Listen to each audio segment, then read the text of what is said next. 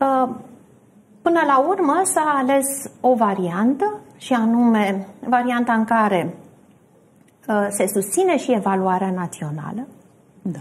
și admiterea în liceu pentru acele licee care își doresc să susțină și o uh, Admitere. admitere.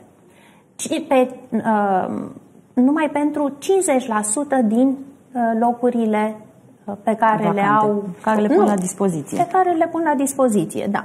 Locurile ce li se atribuie până la urmă prin planul de școlarizare. Da. Asta este, uh, cred eu, că o măsură uh, bună la momentul acesta, ca urmare, repet, a dezbaterii ce a existat în. uh, Pentru toate părțile implicate. Da, există voci și acum care spun că această admitere în uh, liceu uh,